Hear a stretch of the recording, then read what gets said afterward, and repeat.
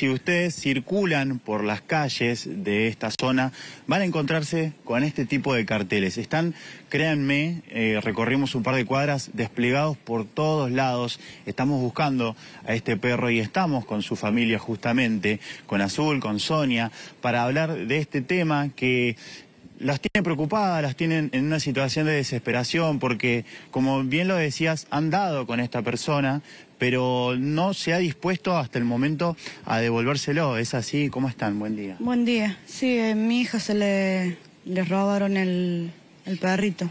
¿En qué, ¿En qué situación? ¿Cómo fue el robo? Eh, Entró al patio, desapareció de la nada él. Estaba en su patio y se desapareció. Alrededor de las 5 de la tarde del día sábado. Bien. Eh, y a raíz de esta búsqueda, ustedes eh, dan, y contacta, se contacta una persona con ustedes. sí, al teléfono mío se contactaron y, bueno, me pidieron la plata que ellos supuestamente habían gastado en el perro, Comprándolo. comprándolo supuestamente. Es una persona que te dijo a vos por mensaje, por WhatsApp. Por mensaje de WhatsApp. ¿Qué, sí. qué te puso en el mensaje? Me puso que, que ellos me daban con la condición de que le pagara el monto, 60 mil pesos. Bien. ¿Y, cómo siguió la conversación con esta persona? ¿Pudiste eh, establecer algún contacto más? No, desde el sábado, eso último, desde el sábado ya no sabemos más nada de, del perrito. Y es de mi hija, y está sufriendo mucho mi hija. Y obviamente el perrito también. Bien. Eh, me imagino que, que estás en- obviamente en una situación eh, muy angustiante para vos. Desesperada. Quiero a mi hijo de vuelta en casa, lo único que pido. Estoy muy desesperada, estoy sufriendo mucho.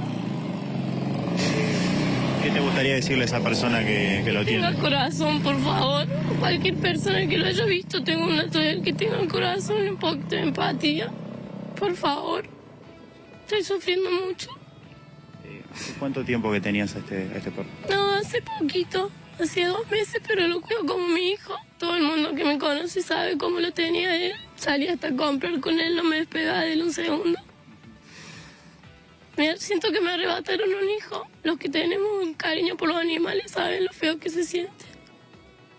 Además, el, el- el rol que cumple en esta, en esta familia, en esta casa, me, me decías que, que no viven ustedes de dos solas y que eh, este perro es, es importante para ustedes, ¿no, Sonia? Es muy importante, sí. Toda Eh, la familia. Hermanito, tu Sí, para, para todo. Todo estaba muy mal, muy depresivo, todo.